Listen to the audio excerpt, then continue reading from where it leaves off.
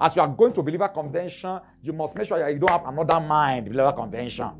One thing you should do before Sunday is that you need to do a lot of love charity work. Preparation is not just only praying, God prepare my heart, you must look at what can I do? What kind of charity work can I do? Even we are doing many things to prove you again. What is your love response?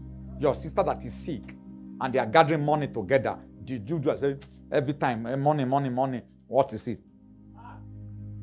That means that this one is not ready yet to meet the high priest after the order of Melchizedek. He can't meet the priest of Most yet because he has not perfected love.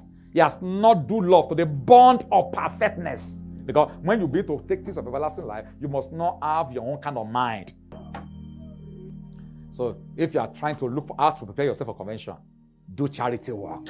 James or John was saying, he said, if if you hear your brother, what well, brother is hungry, and you say, brother, come and be warm. Maraka satayala. Balele tarababa. And you you shut up your bow of mercy. Say, I'll do the love of God in you.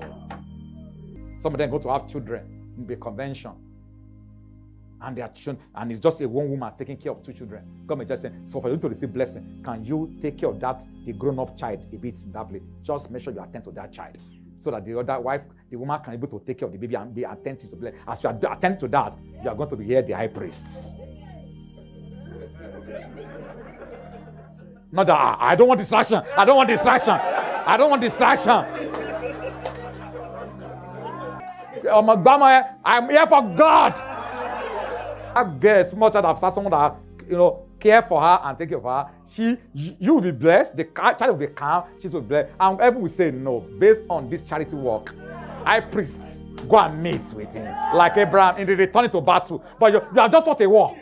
Your one battle is that child you carry. You just fought your war. That's how we are going to meet the high priest. That's how we're going to meet he that speaketh from the heavens.